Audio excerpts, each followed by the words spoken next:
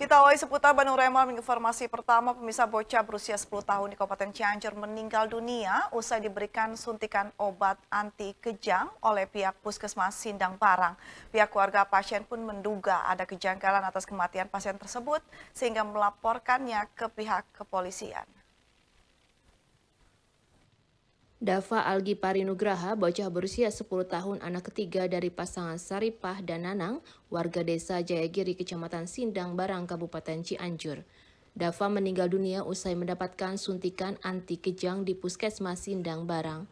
Sebelumnya dibawa ke Puskesmas, Dava mengalami demam panas hingga sempat berobat ke dua orang mantri poliklinik dan diberikan obat penurun panas dan vitamin.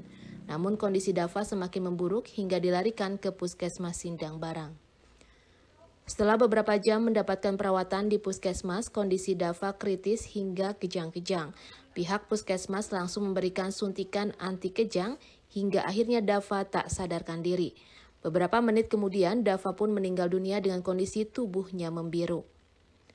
Pihak keluarga menduga ada kejanggalan atas kematian Dava, karena setelah disuntik anti kejang, Dava meninggal dengan kondisi tubuh membiru. Selain itu, pihak puskesmas pun memberikan layanan gratis setelah Dava meninggal dunia, sehingga memunculkan kecurigaan. Atas kejadian tersebut, pihak keluarga pasien langsung membawanya ke ranah hukum dan meminta jenazah Dava segera dilakukan otopsi. Bingung saya ini gimana? Ini anak kok panasnya udah enggak tapi anak ini ngerasa badan enggak enak gitu. Udah minum obat itu. Langsung disambung migo. Dari pagi itu terus migo dia ke mana ngelantur. Akhirnya kan bilang lagi ya telepon ke Pak Hadi. Pak aduh gimana ya ini dapat? Kok jadi migo? Gitu. Gimana panasnya Bu? katanya.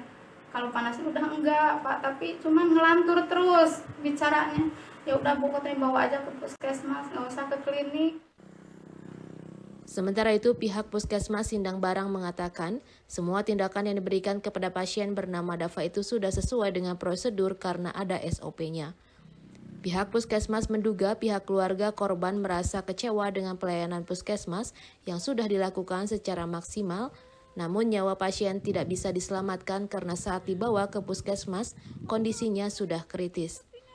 Pihak puskesmas juga menyayangkan kejadian ini karena pasien ini tidak langsung dibawa ke puskesmas setelah disarankan oleh dua mantri untuk dirawat di puskesmas, sehingga pasien terlambat untuk mendapatkan perawatan di puskesmas hingga nyawanya tak tertolong. Kejadian ini terjadi pada tanggal 21 April 2024. Namun kasusnya saat ini mencuat lantaran pihak keluarga pasien tidak terima dengan pelayanan dari puskesmas hingga melaporkannya ke pihak kepolisian. Kalau tindakan di puskesmas itu pasti sesuai prosedur, kan udah ada SOP-nya semuanya. Sudah ada itu. Tindakan-tindakannya sebagaimana udah ada. Berarti mereka merasa tidak puas sampai lapor ke Polres gitu. Ya.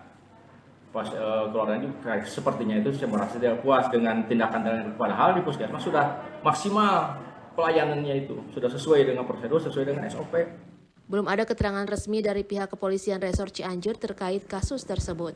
Namun informasi dari beberapa sumber bahwa kasus tersebut sedang ditangani oleh pihak polisi dan polisi pun tengah melakukan pemeriksaan terhadap sejumlah orang saksi dari beberapa pihak. Heri Setiawan, Bandung TV.